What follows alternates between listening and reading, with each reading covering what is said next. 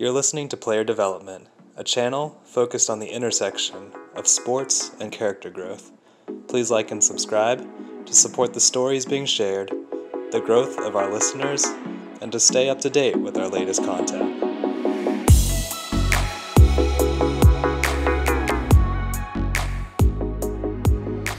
Hi, my name is Charis Batozik. I'm one of the co-owners of CrossFit Liquid.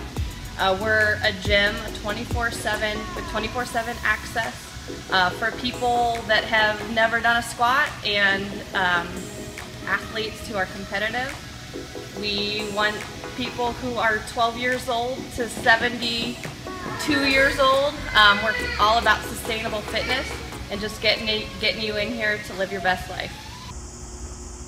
All right, Charis, thanks so much for joining me today. Thank you for opening up your gym to let us use this space for this interview. Yeah, no problem. Really appreciate your time. Um, so, tell us a little bit. How did you get into CrossFit, and what drives your passion for it? Um, so I have a short and a long answer for you. The short answer is um, I got really into nutrition and just kind of learning like what's a good lifestyle to, you know, for a long, happy, healthy life. Mm-hmm. Um, I was at about, I want to say like 17, um, and I followed this blogger. Her name was, or her blog name is The Healthy Home Economist.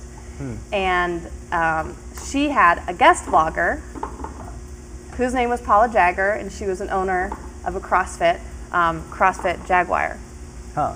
So, anyway, so I read that, um, I read that blog or the the post that she made, mm-hmm. and I was hooked because one, I thought she was a badass. She was 40 years old and had a six pack, super shredded, and I was like, man, I want to be that at 40. Um, and um, so I, I clicked on her name uh-huh. and wanted to learn more about her. Mm-hmm. And then that kind of got me into CrossFit from there. Um, I looked up my local CrossFit gym, yeah. Um, and it was Loco CrossFit for Loudoun County. Um, went there one time and the rest is history. That was, um, I guess, a decade ago. Wow. Yeah. And I know, kind of from the outsider's perspective, CrossFit looks pretty intense. So, for people who are maybe interested or intimidated, what was your experience like going to CrossFit for the first time and how did you keep going through that? That's a really good question. Um, I was intimidated walking into the gym. Mm-hmm. I was because, and I, I was even more intimidated after my first workout because I about died, or at least I felt like it. And I saw all these other people that were just crushing it. They were like mm-hmm. tripling my time. Um, and I remember even the coach, he was showing me a movement, what's uh-huh. called a GHD. And I said, um, I was like, ouch, my my thighs hurt a little bit. And he, he looked at me and he said, Is it pain or soreness? And I was like, It's just really sore. And then he goes, Okay, so suck it up. and I'm like, ah. But I mean, now I love GHDs mm-hmm. and, um, you know, they really build a strong core. So, uh, yeah, it was super intimidating at 1st mm-hmm. And the trainers were, the people were. Um, but the thing is, while they were intimidating, CrossFit also, and this is another thing that really mm-hmm. got me hooked, is that it's such a community. Like it's so supportive. I was the last person finishing the workout mm-hmm. my first time doing CrossFit, and the entire class was cheering me on. Yeah. You know, so and I think that just really captures CrossFit. Yeah. It was intimidating, and it is intimidating when you first walk in. Mm-hmm but the community is going to keep you coming back and the community is going to make it mm. less intimidating and the coaches are going to make it more accessible to you and they'll they'll tell you when you're being a sissy and they'll tell you when okay you're right like let's back off that a little mm. bit so i mean infinitely scalable and modifiable and that's that's crossfit and that's part of why I absolutely love it. Yeah. So there's a piece that's competitive, but there's also a piece that's very supportive mm-hmm. as well. Yep. That's awesome. Definitely. Yeah. And so from that first CrossFit workout, fast forward, like you said, maybe about a decade now, you're a co owner of a CrossFit gym. What was that process like for you? So let's see. I want to say, um, I guess I'll answer that by I, when I first started CrossFit, I it just hook, line, and sinker. Uh-huh. Drank the Kool Aid, all the CrossFit jokes, insert, you know. Um, so I, I think about three years into it, I, I knew that one, it was going to be part of my life because I just I loved it, and number two, at some point in time, I wanted to own my own gym. I didn't know when, and I didn't know if it was just a pipe dream, but I wanted to, and I knew that that was just I knew it was a passion. Um, and it got solidified when I coached for the first time. Um, and that was at Draken CrossFit. And um, Corinne and Adrian Check, they're super intelligent um, coaches and they love CrossFit and they're super competitive also. Yeah. But they were my mentors. Like they brought me into what it means to be a good coach, what it means to break down movements, what it means to get people from A to B and reach their goals. They gave me that first, they gave me my foundation as a coach. And that experience really solidified okay, I, I really want to own a CrossFit gym, Yeah. you know? Um, and then I coached at CrossFit Almighty, and again, just awesome mentor, um, Doug Whitaker, the owner of CrossFit Almighty. Yeah. Just like loved the sport, loves the mm-hmm. people. And so, anyway, seeing those awesome mentors and being mentored by them, mm-hmm. that really gave me a passion mm-hmm. to then want, know, have the skill, and then want to do, like, I want to be them. You know what I mean? I, I want to change people's lives like they did. Mm. And um, so that just really kept building the passion, if that makes Yeah. sense. And so, um, then about six months ago when i was approached um, with the idea of opening this gym it was kind of a no-brainer That's awesome. um, yeah so that i mean that's kind of how it all started uh-huh. um, you asked how uh, my passion how did i Yeah. grow the passion so the the nutrition piece that oh that was the short answer but it really was long but it was supposed to be the short answer um, the long answer is um, and this is probably where my heart is like as far as why i am so passionate about crossfit when i was i think 13 Uh-huh. um, I asked my parents this morning. I said 13. I thought it was 15. But all that to say, there, I had dysfunctional eating, um, eating disorder from the age of 13. Yeah. Um, and obviously, like what comes with that is I was deeply insecure over my body. I didn't know what it meant to be um, healthy. I didn't know what that looked like. I Uh. felt like I was kind of grasping for the wind. Um, and I think our culture back then was beauty is stick figure, and that just Yeah. naturally is not my body type. Mhm. So I was again that kind of put me in this like difficult spot as a 13 year old where you're really concerned about about what people think. And I just didn't have the experience or knowledge of what it meant to be healthy Yeah. paired with being deeply insecure. Right. Um, so that's when I got into the, the health portion. Um, and then fast forward into CrossFit, what I fell in love with and what really changed my life is um, every body type has a purpose, every body type has a function, and every body type has a skill. yeah. So the people who are more slender are great at gymnastics. Uh-huh. They're great at running. That's just their body build, right? Like every body build excels at something different. Sure. And um, my body build excelled at lifting heavy things. Yeah. Um, and CrossFit kind of has all of that Uh-huh. in one sport. Yeah. And um, and whether or not you're good at one thing or another doesn't make you a better athlete. It just means you're that. You're better at one thing or the other. And so, um, and then pair that with the community. That's Yeah. community and the culture is all about do your best. It's gonna hurt and it's gonna suck and you're gonna fail. But every day you get fitter and you get better. Yeah. So even if you fail, that's not a, a failure because you're still getting fitter. And um, and it helped. So it helped me really embrace my body. yeah. It helped me change my mindset from I am that my body is meant to look a certain way and I need to eat to make it look that way Right. to I need to eat to fuel myself properly Yeah. so that my body can function mm-hmm. the best of its capability. And just that like that mentality switch was huge for me. Yeah. It sounds like CrossFit was really empowering for you to allow your body to be what it should be. Yeah. As opposed to trying to fit it into Definitely. what other other people or society says it should look like. Definitely. Hmm. I actually met my husband Hmm. Yeah? in CrossFit too. Yeah. That's a good that's a good bonus. it is a good bonus.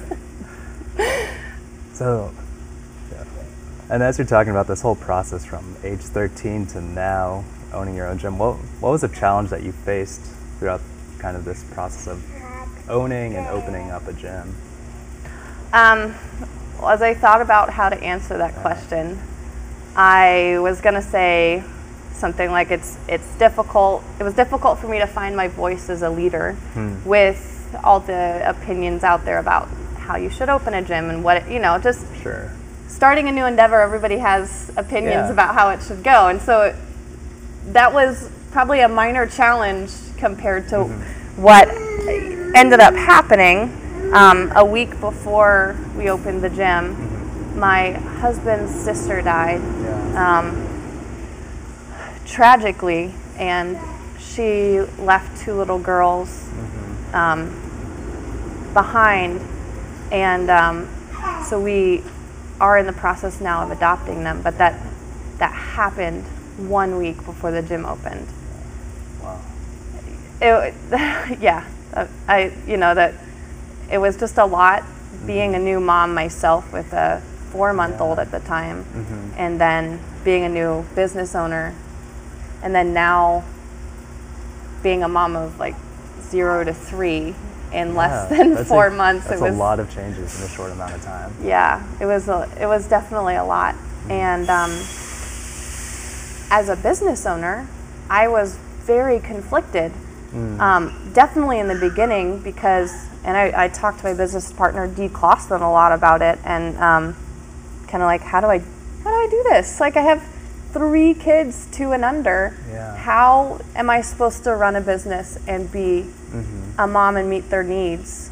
Um, and there was one point in time where I, I called him and I was like, D, I don't, I can't do this anymore. You know, like, or I, I can't co own with you. Right. And um, he really is like the best business partner ever. He said to me, he was like, Charis, I will not let you back out of this. He's like, we will do what we need to do to make it work. But you're, you know, essentially like, you're called to this. I see it. Everybody sees it. Yeah. Let's make it work. And I mean, probably like his support, mm-hmm. lots of prayers, our church, our family, all that stuff, all tho- those things. Like really, um, it takes a village.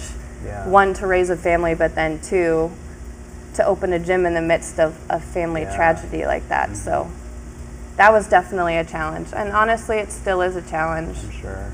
to just figure out childcare. And again, like, what does it mean to be a good mom while, Yeah. you know, prioritizing this over being a business owner, but then doing both excellently, you know? Yeah. So, Yeah, and you know, I think on social media or just in our discourse, we have a tendency to put people on a pedestal who have gone through things like you have and are still, you know, persevering on and you know saying, "Oh, she's a super mom" and that kind of thing. I guess just putting that before you now, like, what kind of thoughts do you have about that kind of perception of moms and or people in general who are like still going through and overcoming even after these challenges and tragedies?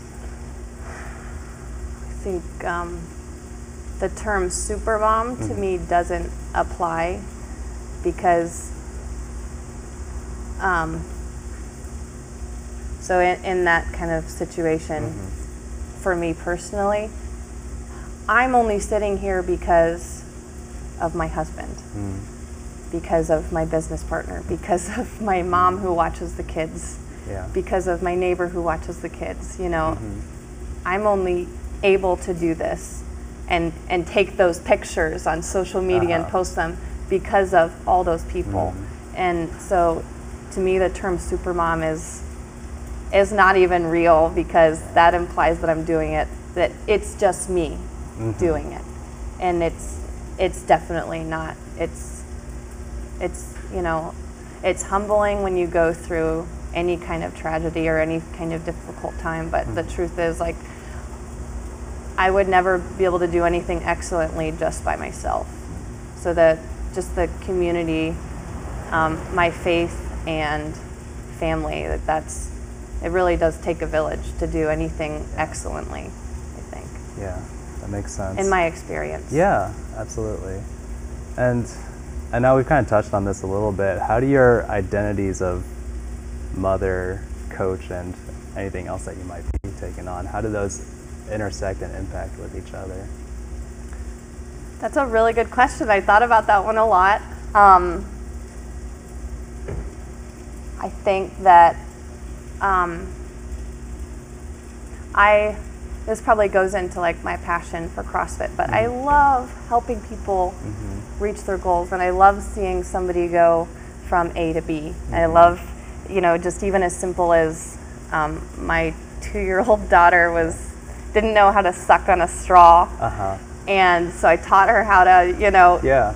put her lips around the straw and suck on it, you know, and when she finally got it after like an hour and a half, it was so exciting. Um, but I, I just love being able to help people get from A to B, whatever their goal might be.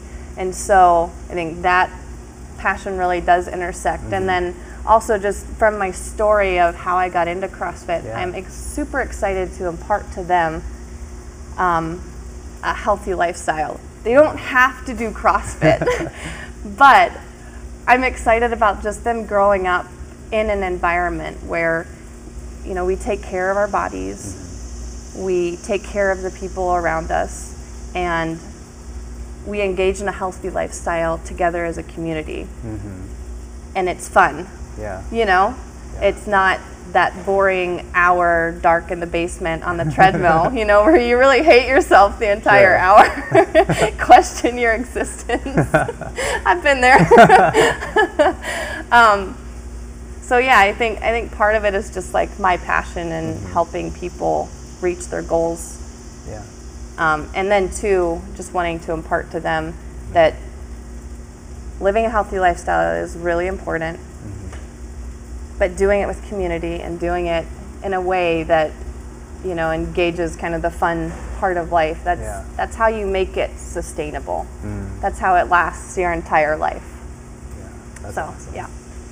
Well, that's all the questions that I had for you. I'm going to toss it back to you for any final words or thoughts that you have about anything we've covered or anything that we haven't. Um, well, I guess, I guess to anybody out there who's wondering, like, how, how do I get started? Should I do CrossFit? Um,